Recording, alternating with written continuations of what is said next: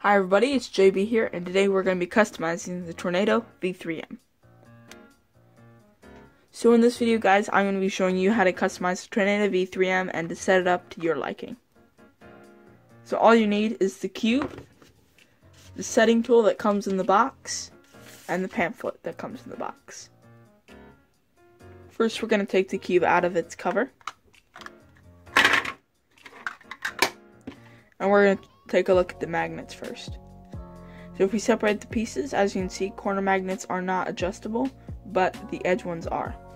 So you take this tool here, and if you look closely into the magnets, you're going to see that there's one, two, three, four, five settings. Further toward the left you go, that will be the minus and weaker magnets. Further toward the right you go, the stronger magnets. I personally like them on number three, right in the middle, as you can see. But pretty much all you have to do is stick this in there like a flathead screwdriver. You can turn which whichever which way you want to adjust those magnets.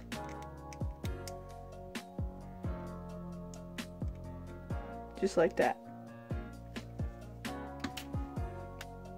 Now look, let's look at the spring compression and adjustment. So if we look inside this center cap, we see we have a inner circle number here and an outer circle number here. To tell these apart, the middle number is the as much as you can pull these pieces apart, the axis distance, how much the screw, how flexible the cube is.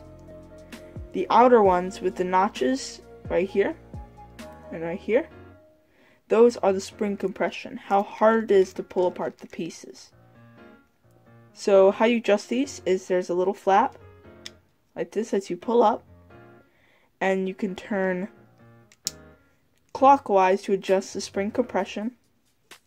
So as you can see now it's three, four, five, back to one, and then to two turn counterclockwise to adjust how how much you can pull the pieces apart.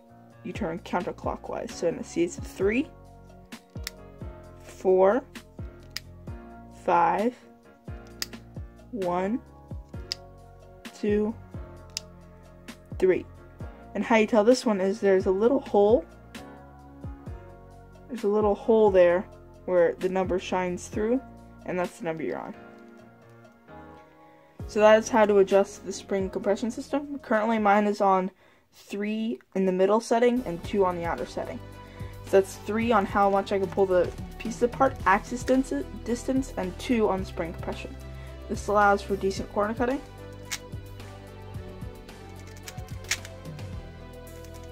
And reverse corner cutting. So that's how you customize the Tornado V3M. It is a very nice cube to customize, really easy and very easy to understand.